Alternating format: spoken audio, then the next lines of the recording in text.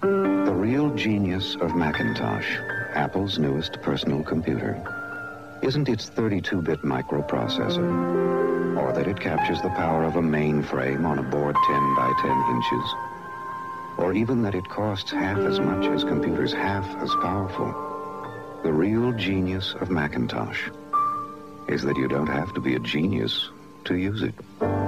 Macintosh, the computer for the rest of us.